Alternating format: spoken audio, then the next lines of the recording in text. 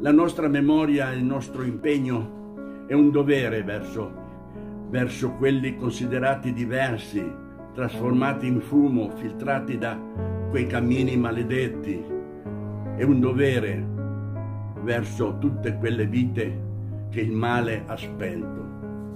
La memoria, se non diventa una pagina di storia da divulgare ai giovani col tempo, per effetto naturale, tende a svanire.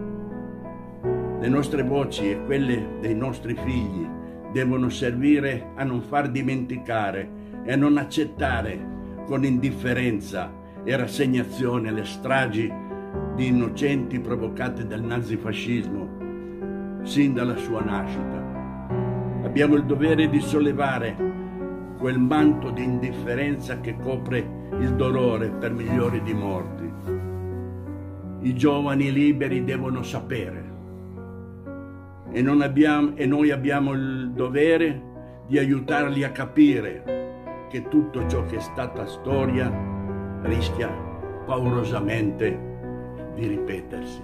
La memoria non è passato, ma esercizio quotidiano del presente. Significa che non possiamo cambiare il passato, perché è passato, ma abbiamo la possibilità e il dovere di agire nel presente per cambiare il futuro. I campi di sterminio hanno rappresentato il massimo livello dello sfruttamento dell'uomo sull'uomo.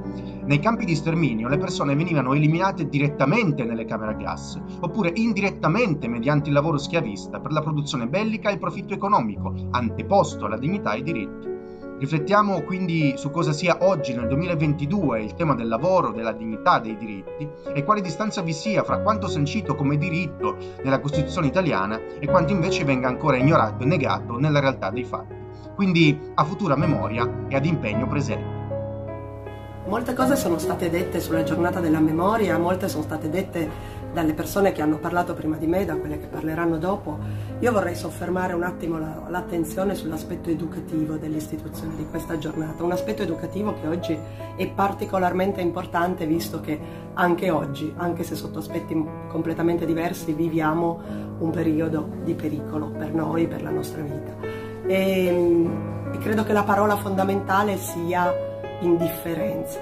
Noi dobbiamo non essere indifferenti, dobbiamo non girarci dall'altra parte, non evitare di affrontare i pericoli e eh, darci veramente da fare, mettere il nostro impegno per il bene comune. E credo che questo sia un grande insegnamento che si può appunto ehm, mutuare da un aspetto come quello che si viveva negli anni 40 in Italia e in Europa a quello che viviamo oggi in tutto il mondo veramente con un pericolo globale. Io auguro buona giornata della memoria a tutti, dove buona giornata della memoria vuol dire una giornata della memoria proficua dal punto di vista della riflessione. Abbiamo bisogno che la giornata della memoria sia un patrimonio collettivo. Eh, lo sterminio che i nazisti hanno perpetrato deve essere eh, in qualche modo un anticorpo di cui noi siamo portatori sani, soprattutto per quanto riguarda le giovani generazioni. Grazie a tutti i cittadini e facciamo in modo che questa giornata della memoria sia patrimonio della cultura della nostra città.